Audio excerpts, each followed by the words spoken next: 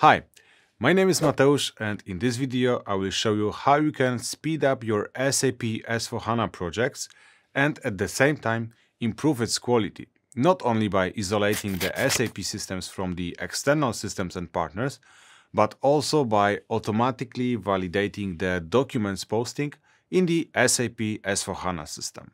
In the previous video, I explained how you can speed up the project by eliminating the dependency on the partners, suppliers and applications connected to your SAP system with the usage of the INT4 service virtualization and the historical messages collected by the INT4 robot.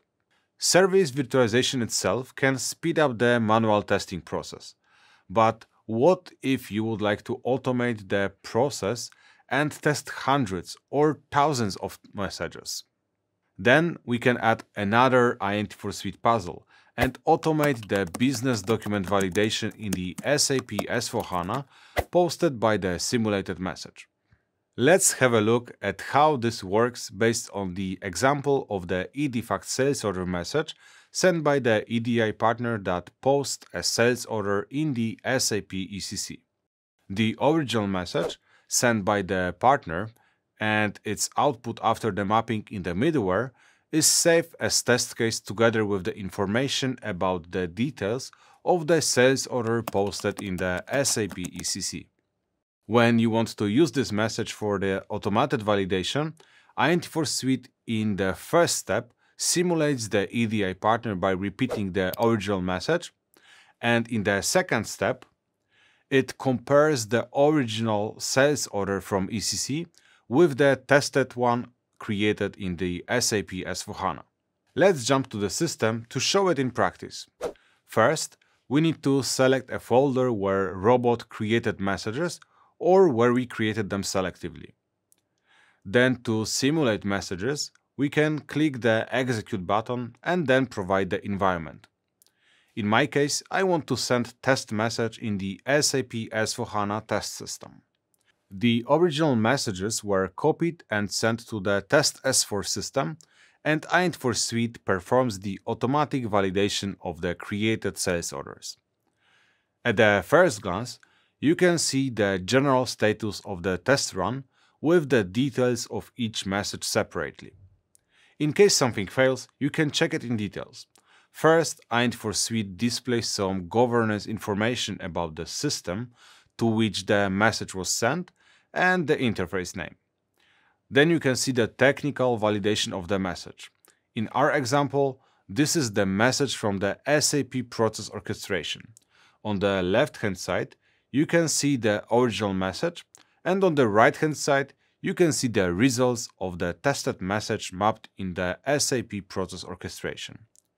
In case of some acceptable differences, like the creation date and time, that is always unique, or the SAP purchase order number that in this example we are always dynamically updating, the difference is shown in yellow. In case of some differences that have not been marked explicitly as exceptions, INT4 Suite highlights them in red, indicating an error. Below, you can also see the automatic validation of the sales document in the SAP backend. In the first line, you always can see the documents created by the original message in the SAP ECC, to which we will be always comparing our test documents. And in the second line, you can see the documents created by the test message in the SAP S4HANA test system. Similarly to the above validation, errors are displayed in the red and expected differences are in yellow. Thanks to this, you can make sure that your business process works in exactly the same way, ensuring business continuity. At a first glance, you can also see where the issue is coming from. This was the example of the sales order, but it can be any business document and any SAP table. In the configuration, you can define these SAP tables and fields that should be validated. This is a one-time action and then all the objects that have been assigned to this configuration are reusing the validation rules. The automatic validation is helpful even for a single document validation, but if you think of a massive regression testing where you would like to validate couple hundreds or more documents, the validation with INT4 Suite is the only way to go. Testing manually requires to check all the documents separately, sometimes side by side, which is of course very tedious, time-consuming and prone to errors.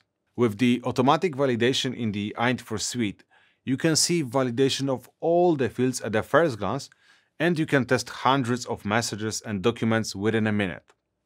The validation can be done in the foreground, as I have shown you, but it can also be scheduled to be executed continuously for a weekly regression runs in the background.